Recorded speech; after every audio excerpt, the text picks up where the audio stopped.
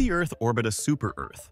Okay, but let's start slowly. First thing first, a super-Earth is a planet with similar conditions to Earth but with 5 to 10 times its mass. So if we put the Earth in orbit around super-Earth, damn Roche limit, Let's put the Earth into orbit in a place where it won't be torn apart by the Roche limit and see the effects it has on both planets. The gravitational pulls of the super-Earth would create tides that would sweep away entire cities, and those same gravitational pulls would create earthquakes in the Earth, stretching it like an egg. From Earth's perspective, we would see solar eclipses that would cover the entire planet every time we orbited the super-Earth, giving us wonderful skies worthy of a like for this video. It is very likely that super-Earths are very magnetically active, which causes the magnetic field of the super-Earth to interfere with that of the Earth, causing interference in satellites and compasses, but at the same time protecting the Earth from cosmic rays and radiation. So humanity would have a second home, although many years of evolution would have to pass before the bones and muscles could support the weight of the same body.